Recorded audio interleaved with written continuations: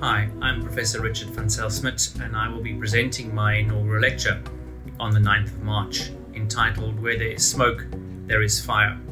And this is no more true than in the sphere of science where it engages with the tobacco industry and vaping advocates. The COVID pandemic has further complicated the balance of life and work and mental health. And I will be taking you uh, on a journey through smoke, lungs, and Nobel Prizes in my inaugural lecture, and I hope you can join me. Thanks.